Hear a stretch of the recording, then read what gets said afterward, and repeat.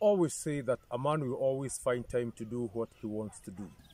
But the Chinese proverb puts it even better that he who wants to sing will always find a song.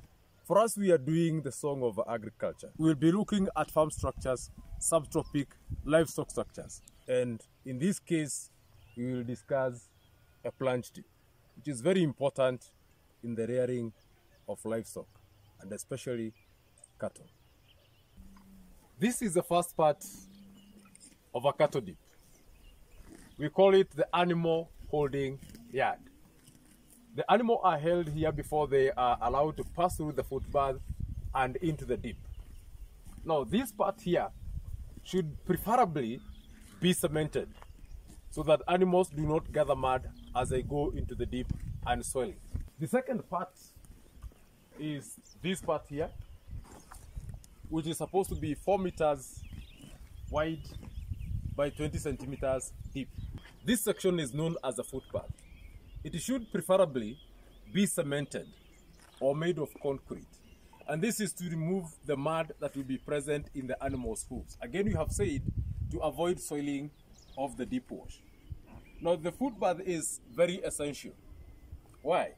Because it contains the chemicals that are supposed to control foot rot. One of the chemicals that can be used is copper 2 sulfate, which is supposed to be 5 to 10% copper sulfate solution. Or you can use formalin, which is 2 to 5% uh, solution. The next part is the jump. And the jump is this part here, which has short steps. This is a place from which the animals are going to plunge into the deep.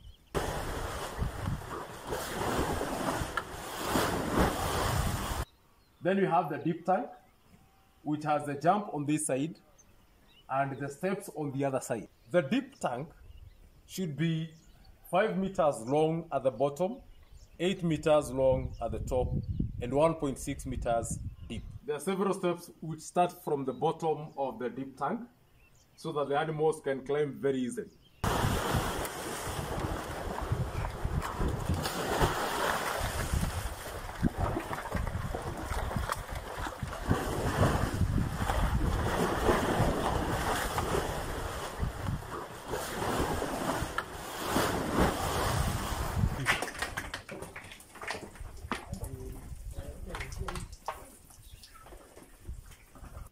Now, this part here is known as the draining race. The draining race is where the animals will come when they are moving out of the dip tank. They'll be having a lot of dip wash, and therefore it will be dripping from the body and onto the ground.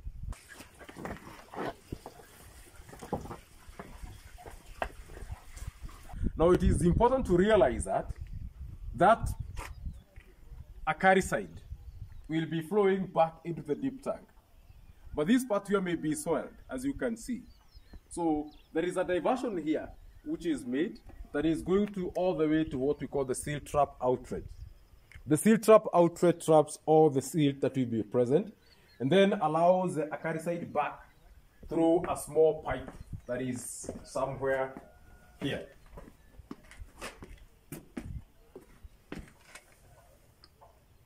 So the silt trap is outside, where all the silt is left, and then the acaricide can drift back all the way to the dip tank.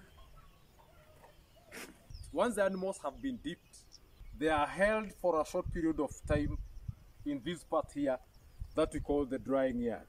And the reason why we do that is to avoid the contamination of pastures with the acaricide, which may poison the animals. The other part is the roof,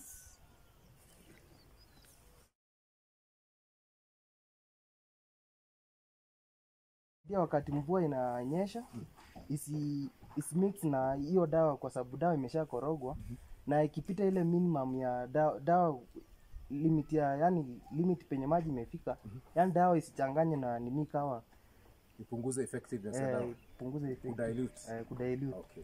eh, Na ku avoid evaporation. evaporation pia Okay. eh. Na hapa kwa nini mshike hapa badala ya kuachilia tu ende kwa kwa nyasi wakakula? Okay, hapa hivi tunashikilia hivi ku- ku, kubakisha hiyo dawa yaani kuna dawa wamebeba Mm. tukisema tufungue wataenda na hiyo dawa Okay. na itakuwa sasa wakienda na hiyo dawa huku yeah. kwa tangi yetu dawa inapunguka sasa wao wanastay hapa yeah. wamwage dawa yeah. alafu hiyo dawa irudi tena ndani Okay. Na huwa mnaifanya after how long? after every every one week one week Okay. Fridays. So every Friday. ev- every Fri- Fridays tunawaleta kwa dip. Okay. Hiyo ni routine. eh, routine every Friday tunawaleta every Friday tunawaleta Thank you very much.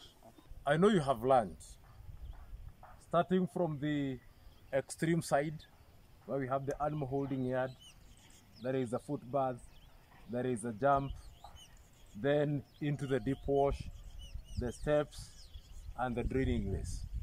Then we have the roof, which is very important in controlling the dilution of a acaricide by rain and evaporation.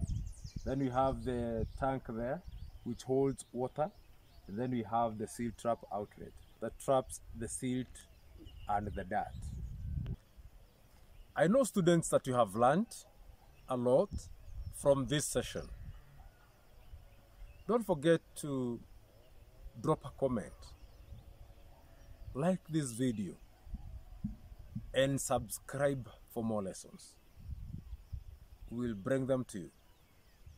Thank you for watching.